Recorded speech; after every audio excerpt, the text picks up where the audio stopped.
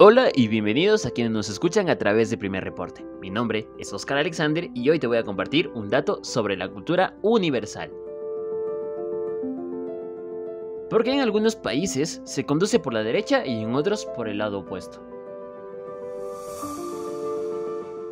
En la actualidad, el 34% de la población del mundo conduce por el lado izquierdo de la carretera, mientras que un 66% lo hace por la derecha. Las invasiones napoleónicas impulsaron la norma de conducir por la derecha en casi la totalidad de los países europeos. La excepción, una vez más, fue Inglaterra, nación que Napoleón no conquistó y que siguió fiel a una tradición, conducir por la izquierda, que exportarían más adelante a sus colonias. Hoy prácticamente solo en la antigua colonia británica o territorios fuertemente influenciados por el imperio británico se circula por la izquierda, como es el caso de Japón, y el último país del continente europeo en pasarse a la circulación por la derecha fue Suecia.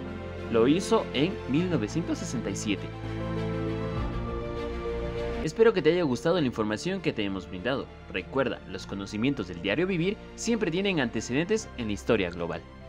No olvides seguirnos a través de nuestra radio online www.radio.primerreporte.com y así te enteras de diferentes tips tecnológicos que te ayudarán en tu diario vivir.